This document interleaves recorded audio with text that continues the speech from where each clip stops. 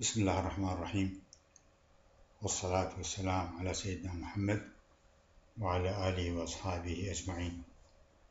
سأتحدث في محاضرة هذا اليوم عن الجزء الثاني لجهاز الفلوروسكوبي لمادة المعدات الطبية لطلبة المرحلة الثالثة في قسم الفيزياء الطبية كلية مدينة العلم الجامعة. عن أنواع الكسب جين المستخدمة لزيادة شدة إضاءة الصورة وسأتكلم عن التطبيقات الطبية للفلورoscopy. First of all, I'm going to discuss the magnification gain, flux gain, brightness gain, conversion factor, and finally, I'm going to discuss the clinical applications of the fluoroscope. Magnification gain is defined as the ratio of the square of the input phosphor diameter to the square of the output phosphor diameter as given di تربيع by di out تربيع and typically in the range of 100 إذن كسب التكبير magnification gain يعرف على أساس النسبة بين مربع قطر فوسفور المدخل input فوسفور إلى مربع قطر فوسفور الخرج أو الناتج output فوسفور ويكون عادة بحدود 100 flux gain كسب التدفق is defined as the ratio of the number of the light photon incident on the output phosphor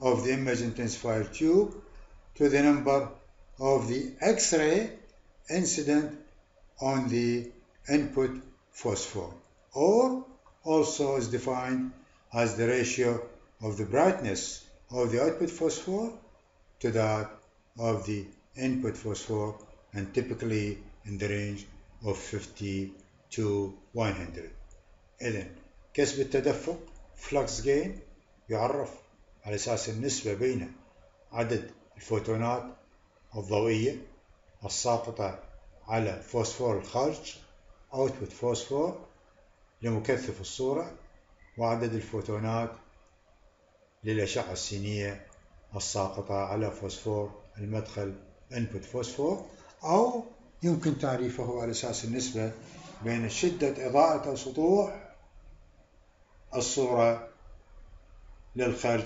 وفوسفور المدخل وعادة يتراوح بين ال 50 وال 100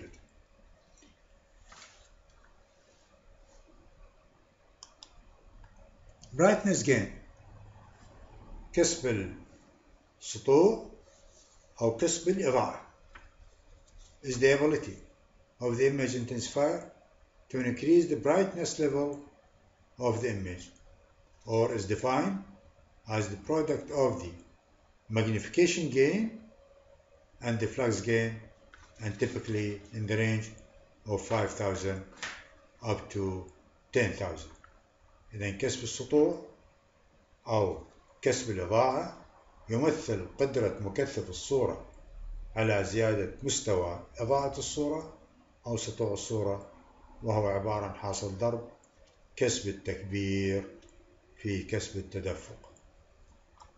conversion factor عامل التحويل that means the input phosphor will be convert the X-ray photons to a visible light and then the visible light interact with the photocathode to produce electrons. That means the conversion factor is a modern method of measuring the flux gain and the magnification gain and also measuring the light output of the input phosphor and is defined as the ratio of the illumination intensity measured candlelit per square meter at the output phosphor to the input phosphor rate measured in milli Röntgen per second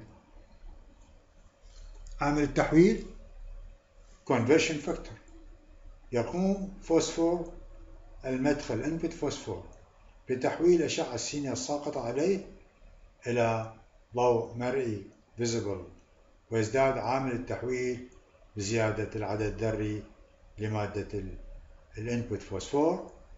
ويعتبر طريقة حديثة لقياس الكسب كال flux gain ال flux gain وال magnification gain أو شدة الإضاءة الناتجة من الفوسفور المدخل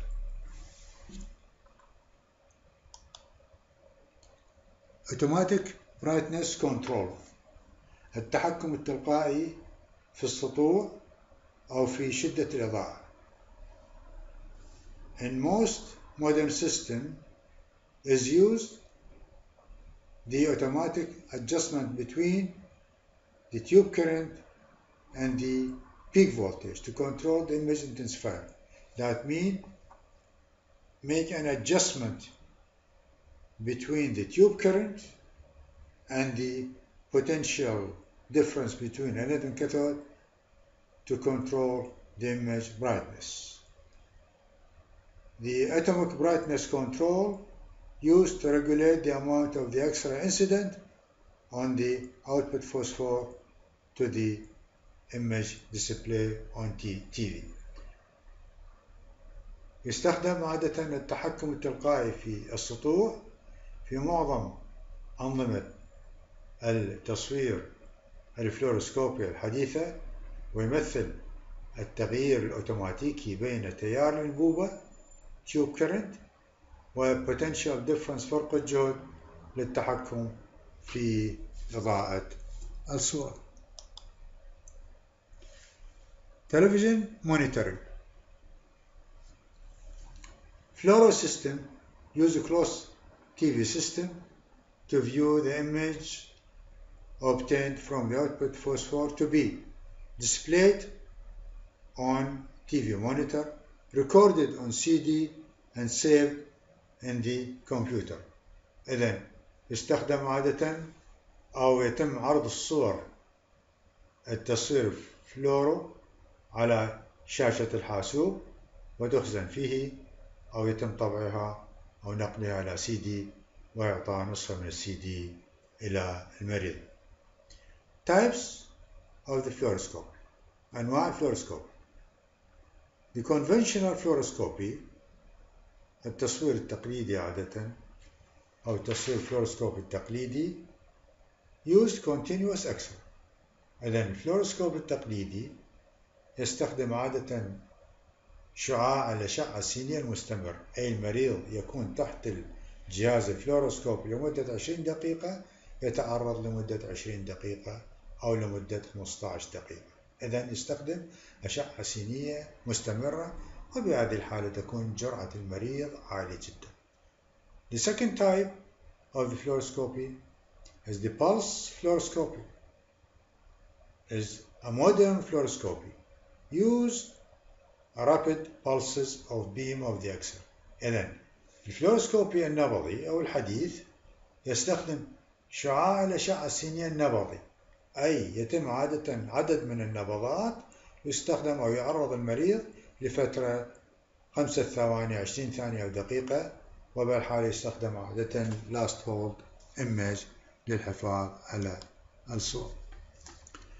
The modern fluoroscopy system have some features which reduce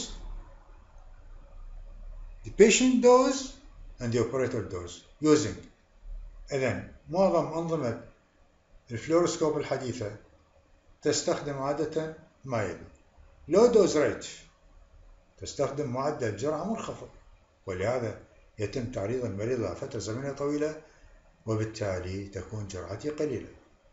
Using long exposure time يتم استخدام وقت تعرض المريض لفترة زمنية طويلة لكن dose rate وبالتالي تكون جرعة المريض قليلة وجرعة المشغل أيضا قليلة produce high image quality يتم إنتاج صور عالية الجودة والدقة also using last hold image where the last image is stored after the X-ray beam is turned off معنى ذلك يتم الحفاظ على الصورة السابقة باستخدام جهاز الحاسوب في أي وقت ممكن يعود عادة طبيب الأشعة للتأكد أو تشخيص المريض باستخدام الحاسوب الصور موجودة الحاسوب. Also pulse fluoroscopy reduce the patient dose using number of pulses instead of continuous. X-ray beam where the beam is in the form of the rapid pulses of the X-ray. Finally, using automatic exposure control التحكم التلقائي في تغيير شدة الإضاءة أو شدة التعرض which continuously adjusts the beam between the peak voltage and the tube current for the best image إذن التحكم التلقائي في شدة التعرض والذي يتم ضبطه باستخدام تغير العلاقة بين فرق الجهد بين الأنود والكاثود و تيوب كرنت تيار أنبوبة الأشعة السينية للحصول على أفضل صورة. Clinical applications of the fluoroscope. First of all, diagnosis of the gastrointestinal diseases using barium swallow, barium meal, and barium enema. إذا الفلوروسكوبي عبارة عن طريقة تشخيص وعلاج بنفس الوقت تساعد الطبيب على رؤية الأعضاء الداخلية والعمليات الجراحية في الجسم أو دراسة وظيفة أعضاء الجسم الداخلية وهناك مجموعة واسعة من أنواع التشخيص والعلاج منها. تصوير الجهاز الهضمي باستخدام عادة الباريوم سلفات ويكون عادة إما باريوم سولو ابتلاع الباريوم ويستخدم لدراسة مشاكل البلعوم والمريء. وال barium meal عادة وجبة الباريوم لدراسة مشاكل المعدة وبداية الاثنى عشر بداية الأمعاء الدقيقة. وال barium enemas تسمى بحقنة الباريوم الشرجية تستخدم لتشخيص سرطان وأمراض القولون Cardiovascular problem is used to treat heart disease, diagnose blood vessels blockage. إذن تصوير القلب والأوعية الدموية بواسطة عملية القسطرة الكاثيترايزيشن يتم من خلالها تشخيص الانسداد في الأوعية الدموية بالطرح الرقمي Digital Subtraction Angiography أو علاج فتح الانسداد في الأوعية الدموية وذلك بوضع الشبكات الستنت في الشرايين والقسطار عبارة عن انبوب رقيق مرن بقطر 2 بالعشرة إلى 2 ملم Vascular diagnosis using catheter for blood vessels problems لمشاكل الشرايين using digital subtraction angiography استخدام عادة التصوير الأوعية الدموية بالطرح الرقمي نستخدم صورتين. مريض عادي بدون إعطاء contrast media يعطى المريض ال contrast media المادة الملونة عادة iodine للأوعية الدموية. وتطرح الفرق بين الصورتين حصل على صورة واضحة. and also interventional procedure and insert the stent وهذا عندنا الصور الموجودة. هذا يمثل عندنا صورة الجهاز عادة الجسم بأكمله لاحظ الشرايين والانسداد في هذا الموقع نسميه large field of view. الصورة الثانية تمثل عادة تصوير منطقة الأبدومين لاحظ الكليتين بوضوح عادة الشرايين.